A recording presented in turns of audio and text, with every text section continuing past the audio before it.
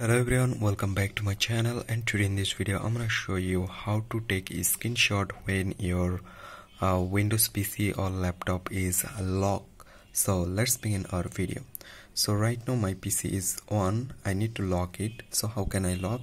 I just lock it by pressing uh, windows plus l key together.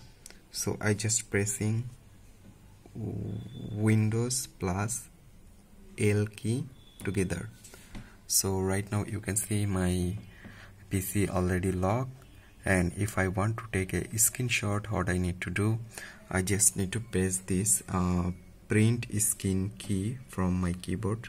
So here you can see uh, this is print screen key just press it.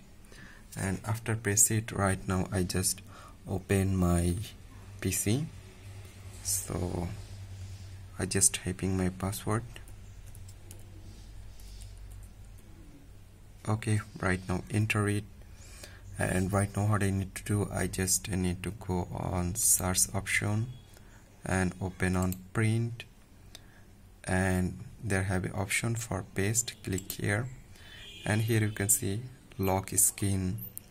Um, screenshot already taken on here. It's already pasted right now I need to save it on my uh, PC memory. What I need to do I just need to click on file and select save as and I need to select the folder where you want to save it after select it then select save and yes that's it right now um, right now um, the lock screen screenshot already taken in your Windows PC or laptop. I hope you can understand. Thanks for watching this video.